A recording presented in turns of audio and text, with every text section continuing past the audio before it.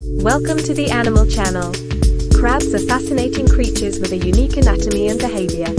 There are over 8,000 species of crabs found in both land and water. Most of the time, crabs move sideways, but some can also walk forward and backward. The distinctive sideways movement is due to the structure of their legs and joints. Crabs have a hard outer shell called the carapace that protects their body. The crab's carapace can come in a variety of shapes, colors and patterns. Crabs have two claws, usually one larger than the other, that they use for defense and to catch prey. When threatened, some crab species can detach their claws as a defense mechanism and grow new ones later. Crabs have a unique way of breathing through gills that are hidden under their carapace. Most crabs are omnivores, feeding on a mix of plants and animals. Some crab species are herbivores, while others are scavengers that eat dead animals.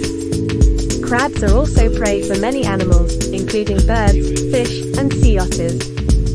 During mating season, male crabs will fight for the attention of the females. The female crab carries her fertilized eggs under her body until they hatch into larvae.